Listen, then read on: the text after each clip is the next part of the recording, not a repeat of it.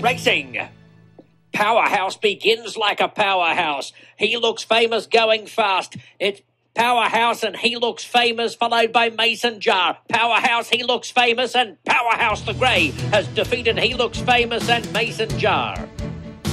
The stakes winning and multiple stakes record holding Power Jam gets his first winner from his very first starter on April 2nd, 2021, when Powerhouse won a 220 yard maiden event at Los Alamitos Racecourse.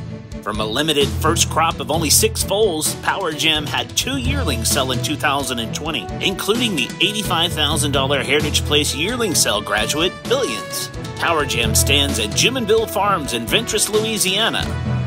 Visit PowerJam.com.